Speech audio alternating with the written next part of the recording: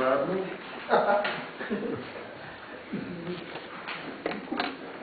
Guten Morgen, liebe Kinder, ich bin der Petrus, der Vorläufer JP2 und Benedikt XV1. Guten Morgen, liebe Kinder, ich bin die Magd aus dem Hof des Hohen Priesters. Hallo Petrus, wir kennen uns doch. Hm, nee, nicht, dass ich wüsste. Weißt du nicht, wer damals im Hof des Hohen Priesters in Jerusalem? Kenne ich nicht. Damals hast du gesagt, du kennst Jesus nicht. Was? Ich soll gelogen haben? Nie.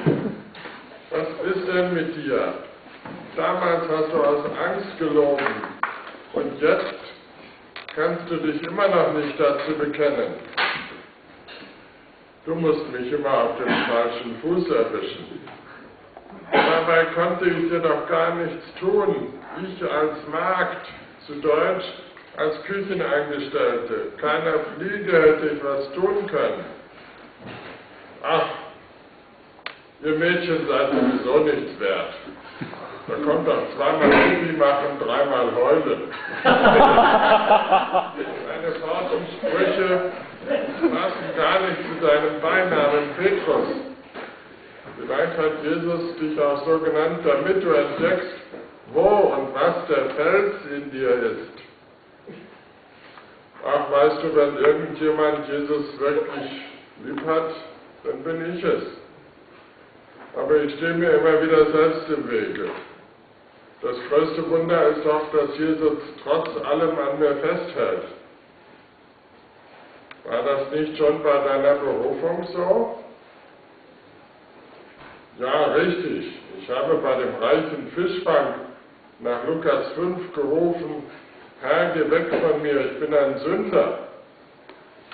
Hatte Jesus nicht ziemlich recht, wenn ich so auf deine Macho-Sprüche schaue? Ja, aber stell dir vor, Jesus hat sich nicht darum gekümmert. Keine Sekunde. Hat er nicht gesagt, nun mach mal Gewissenserforschung oder du brauchst längere Exerzitien oder besprich das mit deinem Beichtvater oder geh mal in Therapie oder versuch's mal mit Diät à la Kreienfeld oder fang an mit Tai Chi Hachi. Nichts von alledem. Er hat gesagt, ich brauche dich. Fischer bist du, Menschenfischer sollst du sein, ab sofort. Menschen, die gefischt werden wollen, sind genug da. Da hatte ich gar keine Zeit, an mich zu denken. Jesus hat sich einfach nicht darum gekümmert, dass ich gesagt habe, ich bin ein Sünder. Er hat einfach gesagt, ich brauche dich. War Jesus nicht schrecklich autoritär? Autoritär ist gar keine Frage. Jesus war so, wie es sich nur Gott selbst erlauben kann. Es war der Ruck oder Knacks oder die große Wende in meinem Leben. Aber dann wurdest du leider öfter rückfällig, zum Beispiel heute. Was würde Jesus dazu sagen? Ich glaube, Jesus würde immer dasselbe sagen. Mensch, vergiss es, ich brauche dich. Mensch, vergiss deine Kleinheit, vor dir liegt Gottes Ackerfeld. Aber du bist feige, du verletzt Menschen, du wirst rückfällig.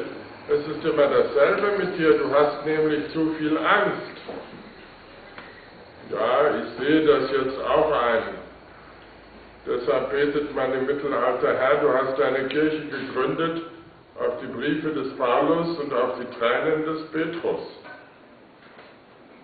Bist du überfordert? Bei Jesus ist jeder überfordert. Du machst immer große Sprüche und nachher ist das heulende Elend. Du setzt als Tiger an und endest als Bettvorleger. ja, ja, meine großen Versprechungen. Was macht man dagegen, wenn man immer wieder zurückfällt? Gott muss es ergänzen. Gott muss zum Ziel und zu den Adressaten kommen lassen. Das Prinzip kenne ich schon, Supplet Ecclesia.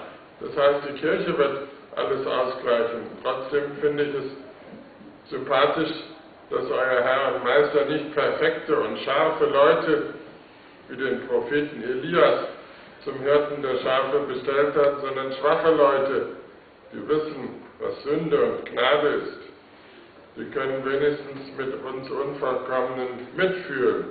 Sie sind keine Tugendhelden. Nicht wahr? Und deshalb heißt es auch, ach lieber Gott, mach die bösen Leute gut und die frommen Leute nett.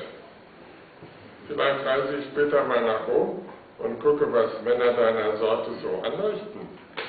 Sei beruhigt, es kommt nichts Besseres nach. Gut, dass man weiß, wie sehr er das Gebet nötig hat. Es gibt den Spruch, was Hänschen nicht lernt, das bringt dem Hans die Mädchen bei.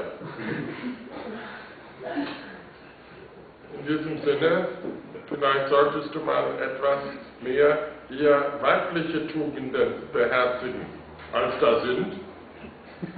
Statt Imponiergehabe der elegante, sanfte Sieg auf der Basis charakterlicher Nachhaltigkeit. Oh ja, die Nachhaltigkeit.